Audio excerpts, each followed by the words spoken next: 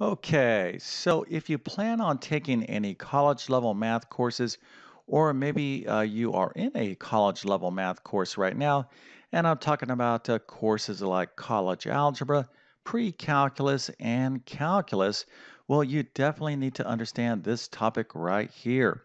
Okay, so the big picture topic that uh, we're going to be talking about in this video is sequence and series. Sequence and series.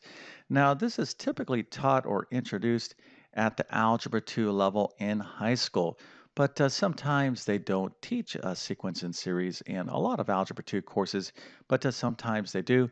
But you'll definitely see this in pre-calculus.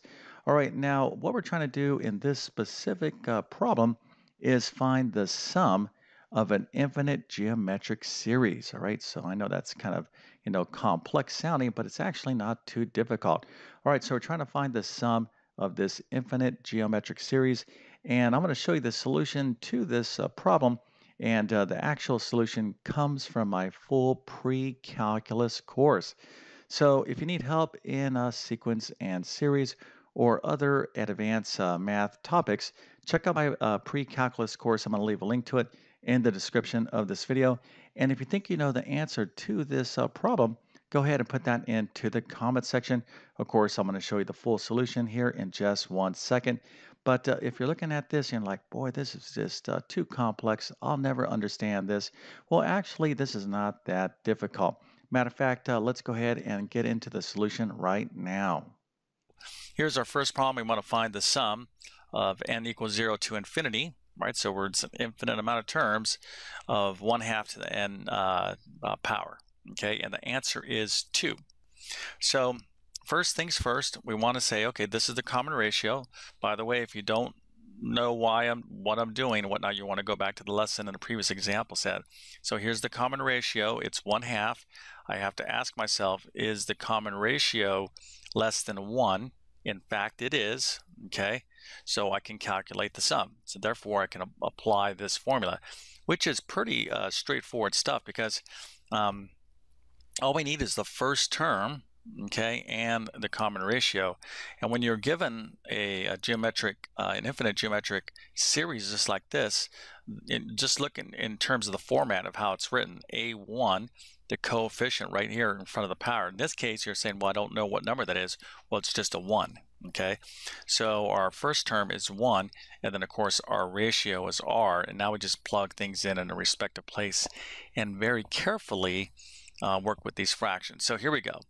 Uh, let's see here. So our first term is 1, and now it's going to be 1 minus the ratio, which is right down here, 1 minus 1 half. So this is 1, uh, 1 minus 1 half, or 1 half from 1 is 1 half. Now just be careful with these fractions. Write them out.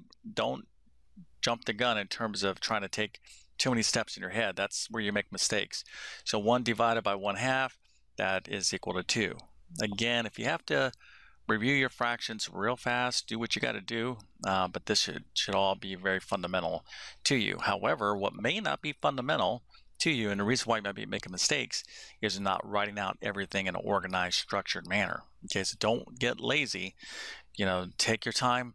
I often tell students uh, and people when I study math, what you think is taking you longer, if you do it right the first time, it actually take you shorter because when you when you make mistakes, guess what?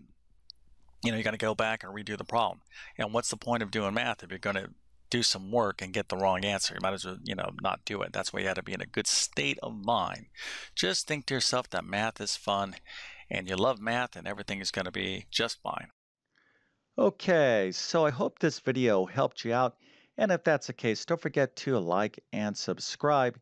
Now, if you need additional help in advanced math, check out these courses right here. So these courses, Algebra 2 and College Algebra, these are effectively the same level of mathematics.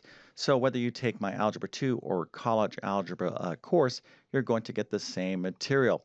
Now, if you are further along in math and you need to study like advanced trigonometry and other topics, then check out my pre-calculus course.